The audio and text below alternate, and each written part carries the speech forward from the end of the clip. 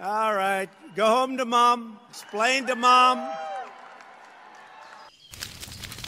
Salut Excusez-moi, je fais mon petit barbecue, là c'est un des derniers parce qu'il va faire froid maintenant. Il va falloir attendre jusqu'au printemps prochain. Des merguez, des côtelettes, des...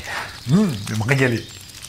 Tiens, d'ailleurs, vous êtes au courant que Donald Trump, le président américain, euh, veut relancer dans son pays, aux États-Unis, euh, l'industrie du charbon.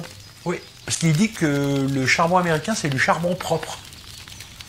Ah si, ils c'est- Bon, c'est Donald Trump, quoi. Alors, qu'est-ce que le charbon propre? Excusez-moi, là, j'ai mes merguez qui crament. Elles sont cuites, les merguez, là?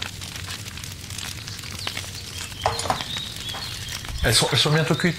Oui. Donc, le charbon propre, c'est un... Je l'utilise, là, dans, dans ce barbecue. C'est un charbon, euh, comment dire, euh,